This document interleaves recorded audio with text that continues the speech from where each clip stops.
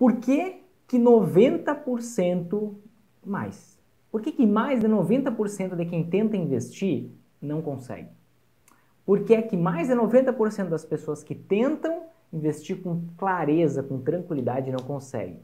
Porque elas têm opções demais, têm excesso de opções, têm excesso da informação e a gente acha que para conseguir fazer alguma coisa bem, a gente precisa ter sempre mais informação, mais informação. A gente fica acompanhando notícias do mercado financeiro para estar atualizado, para saber mais sobre o mercado financeiro. Isso só atrapalha. Isso gera uma obesidade mental absurda.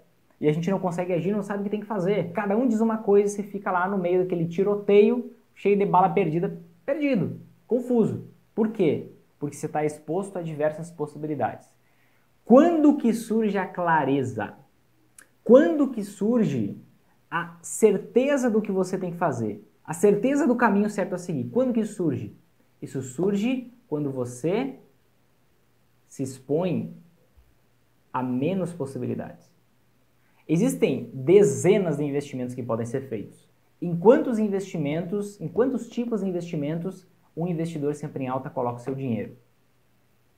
Cinco. Nada mais. Cinco tipos de investimentos.